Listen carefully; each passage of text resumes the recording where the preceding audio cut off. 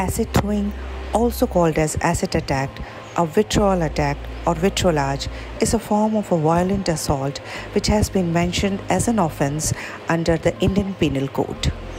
Acid includes any substance which has acidic or corrosive character or burning nature that is capable of causing bodily injury, leading to scars or disfigurement, or temporary or permanent disability. This has been described under Section 326A of the Indian Penal Code. Further, it says that it may include blindness, permanent scarring of face and body, along with far reaching social, psychological, and economic difficulties.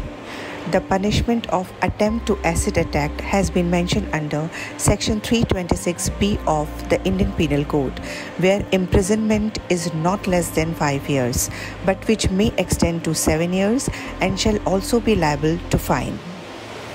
And for the punishment of acid attack it has been mentioned under section 326a of the indian penal code